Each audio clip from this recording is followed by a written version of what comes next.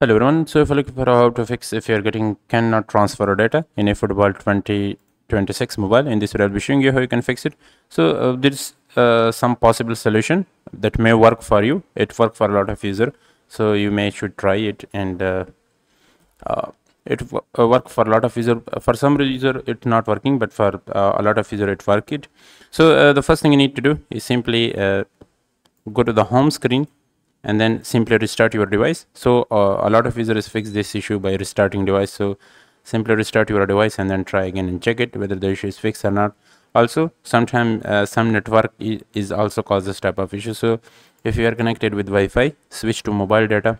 Or if you are connected with mobile data switch to wi-fi and then try again. So uh, it's the first thing you need to do if you're facing this issue. Uh, next you need to uh, hold the game icon. Go to the app info then here you need to click on the force stop button. In the bottom you will be able to see force stop. You need to go to this. And uh, don't clear the cache or data. Otherwise you will be all uh, you will be lost all your progress data that currently stored in your game. So if someone say to you that clear the data don't do it. And uh, next you need to go to the app permission. In the app permission you need to allow every permission to the game. So if you have restricted any type of permission to the eFootball 2026 mobile you need to allow it and then restart the game again launch the game again and then check it uh, whether the issue is fixed or not. But if you're still face the issue and it's not working then you need to change your password or change your email address.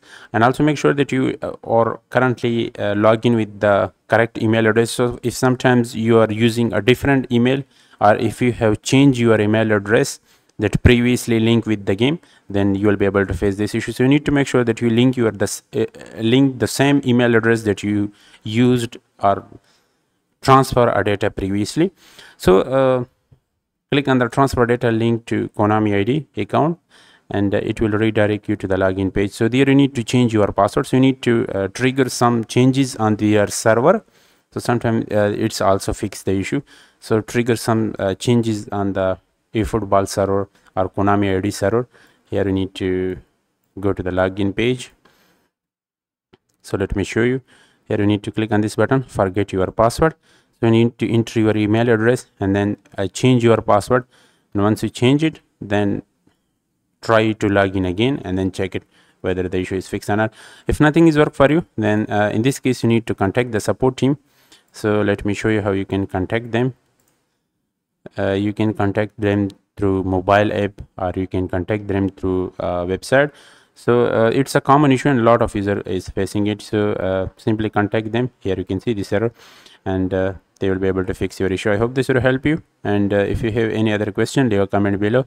And if someone is fix it for with some method they can also mention in the comment because a lot of user is facing this issue so uh, i hope this will help you. See you in the next video